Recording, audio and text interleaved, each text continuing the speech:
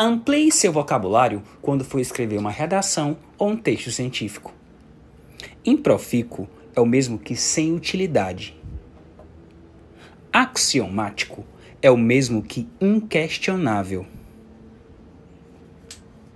Mitigar é o mesmo que suavizar.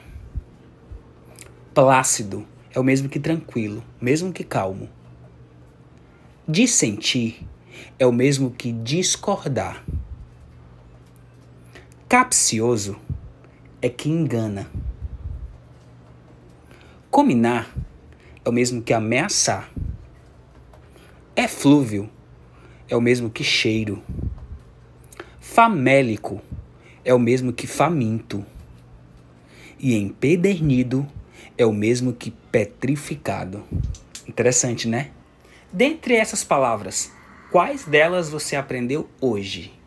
Escreve aqui nos comentários, compartilha com os amigos e até mais.